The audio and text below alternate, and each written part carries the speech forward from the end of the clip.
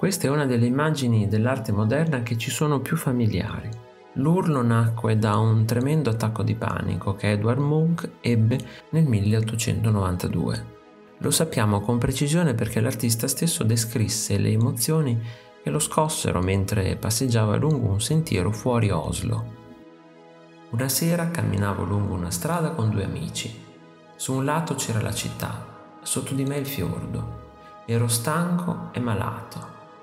Il sole stava tramontando e le nuvole erano rosse come sangue. Ho percepito un grido che squarciava la natura. Avendo la sensazione di sentirlo, ho dipinto questa immagine. Ho dipinto le nubi come sangue vero.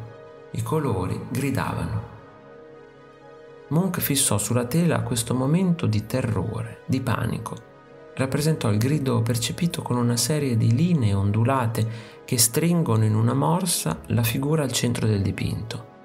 Il volto è un'immagine primitiva di paura e il corpo sembra prosciugato, schiacciato da questo urlo agghiacciante. Le mani sono premute sulle orecchie per non sentire nulla.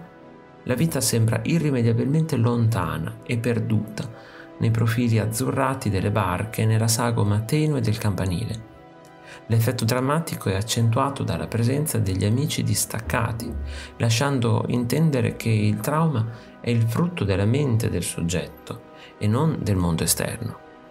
Pur essendo legato al simbolismo, come dimostrano la ricerca di un'analogia tra suono e colore e la fluidità del segno, Munch seppe dare alla propria arte qualcosa di più, un'intensità inedita, cui guarderanno come a un modello i Fauve e soprattutto gli espressionisti tedeschi.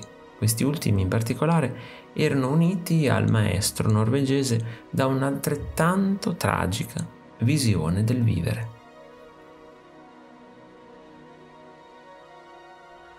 Se ti è piaciuto il video iscriviti al canale, lascia like e condividilo con i tuoi amici.